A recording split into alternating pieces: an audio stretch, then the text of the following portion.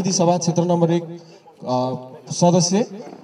उमेद लोकतान्त्रिक वाम गठबन्धन घटक नेपाली काङ्ग्रेसका तर्फबाट उम्मेद्वार रहनुभएका आदरणीय दाजु समानुपातिक तर्फका उम्मेद्वार श्री प्रबल थापाज्यू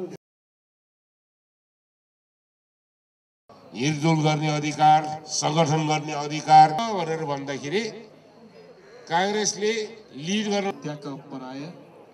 वीर गणेशमान सिंहज्यूको चाहिँ छयालिस मङ्सिर चार गते- गतेको यो नयाँ संविधान जारी गरिसकेपछिको दोस्रो आम निर्वाचन। खास गरेर जनताले चुनेर पठाएका प्रतिनिधिहरूले यो संविधान सभाबाट जारी भएको संविधानलाई रक्षा गर्दै अब त्यसलाई चाहिँ संस्थागत गर्दै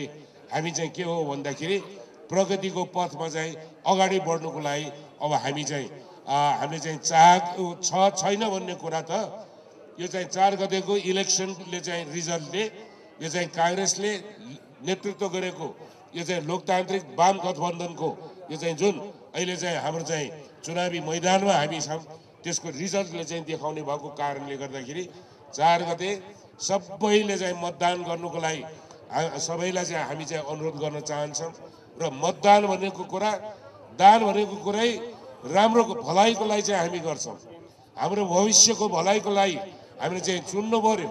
कुन पार्टीले चाहिँ कतिको त्याग तपस्या गरेको छ? उम्मेदवारहरू कस्ता छन् भन्ने कुरा त्यसमा पनि हेर्नु पर्यो भन्ने कुरा सबैलाई चाहिँ याद दिलाउँदै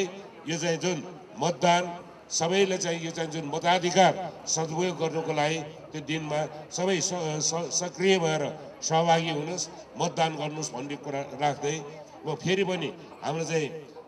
गणेश वीर गणेशमान सिंहज्यूको अब यो चाहिँ जुन एक सय आठौँ जन्म जयन्तीको अवसरमा म उहाँलाई चाहिँ हार्दिक यो चाहिँ स्मरण र श्रद्धाञ्जली अर्पण गर्न चाहन्छु।